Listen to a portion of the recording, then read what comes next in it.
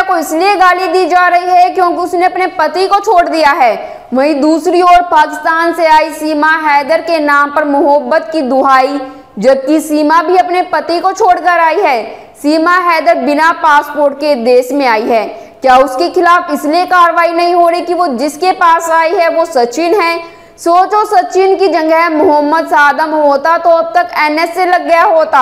और मीडिया मोहब्बत का गुणगान की जगह आतंक की स्टोरी लिख रही होती। नमस्कार दोस्तों, मैं हिमांशी कश्यप आपके साथ। आप देख रहे हैं जनता की आवाज़। सीमा हैदर उम्र 27 साल और चार बच्चे। पांचवी पास होकर फराटेदार इंग्लिश बोलना, कंप्यूटर चलाने में बहुत अच्छी नॉलेज होना। पाँच पाँच पासपोर्ट होना तीन तीन मोबाइल फ़ोन का होना, सिम कार्ड पाया जाना और भाई का पाकिस्तान सेना में होना।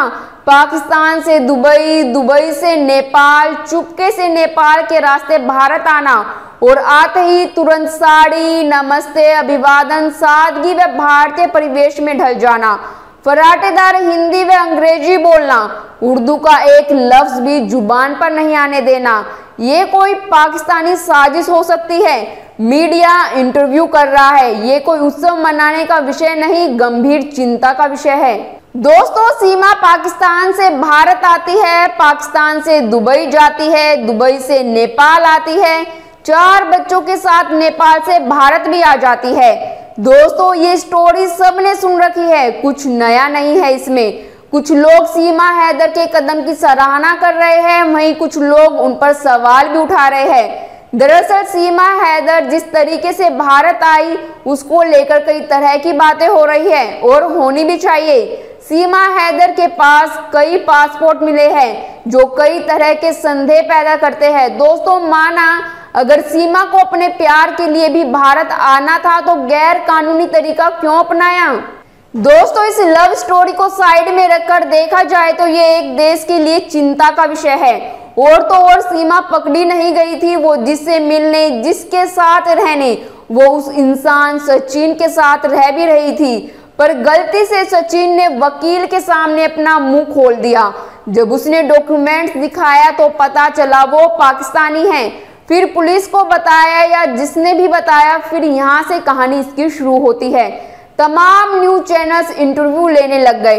इनकी प्रेम कथा सुनाई जा रही है, दिखाई जा रही है। दोस्तों 13 मई को वह भारत पहुँची थी। 4 जुलाई को नोएडा में सीमा हैदर के पाकिस्तानी होने का खुलासा हुआ, जिसके बाद उन्हें गिरफ़्तार किया गया था। सीमा और सचिन अभी बेल पर है। दोस्तों 13 मई से 4 जुलाई कोई कम समय नहीं है। जब खुलासा हुआ और वो भी सचिन से गलती हो गई जो वकील के पास चला गया। नहीं तो शायद अभी तक किसी को पता भी नहीं चलता। दोस्तों, अब सवाल ये उठता है कि भारत के अंदर सीमा और उसके साथ चार बच्चे आ सकते हैं। वो भी अनडिटेक्टेड, यानी बिना पकड़े तो ऐसे तो हज़ारों पाकिस्तानी आ सकते हैं। करना ही क्या है? दुबई से नेपाल की फ़्लाइट लेनी है। नेपाल तो एक अलग कंट्री है, अलग मुल्क है। नेपाल से चाहे पैदल, बाइक से, साइकिल से, बस से, कैसे भी आ जाए, कौन पूछ रहा है? लेकिन यह कोई अकेली घटना नहीं है। पाकिस्तानी जासूस सोशल मीडिया या ऑनलाइन गेमिंग के ज़रिए भारतीयों को लुभाने और प्रेम जाल में फंसाने के कई मामले सामने आए हैं। इस साल जनवरी में पाकिस्तान के सिंध प्रांत की रहने वाली इकरा जीवनानी नाम की एक पाकिस्तानी लड़की ने उत्तर प्रदेश के 25 वर्षीय सुरक्षा गार्ड मुलायम यादव से शादी की। इनका राज तब खुला जब केंद्रीय जाँच एजेंसियों की नज़र इकारा पर पड़ी, जो पाकिस्तान में अपने परिवार से संपर्क करने की कोशिश कर रही थी। इससे पहले 8 अगस्त 2022 को एक पाकिस्तानी महिला और दो अन्य को भारत के हैदराबाद में अपने प्रेमी से मिलने के लिए बिहार में भारत नेपाल सीमा से भारत में प्रवेश करने की कोशिश में पकड़ा गया था। दोस्तों, ऐसे मामले बहुत है। यूएस स्टेट डिपार्टमेंट ने साल 2018 में एक रिपोर्ट जारी की, जिसमें दावा किया गया कि नेपाल की सीमा फ़िलहाल भारत में एंट्री के लिए जासूसों का सबसे पसंदीदा बॉर्डर बन चुका है। दोस्तों, सीमा हैदर ने जिस तरह से इंडिया की सीमा से लेटर एंट्री मारी है बिना प्रॉपर जाँच पड़ताल के बड़ी हैरत की बात है। यानी इतने आराम से कोई भी आ सकता है।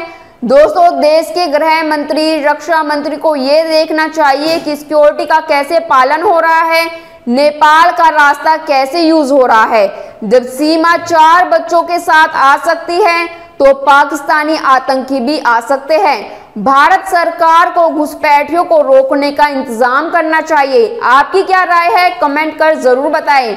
और बाकी खबरों के लिए देखते रहिए जनता की आवाज़। आवाज़ यूट्यूब चैनल को सब्सक्राइब करें, साथ ही बेल आइकन ज़रूर दबाएँ।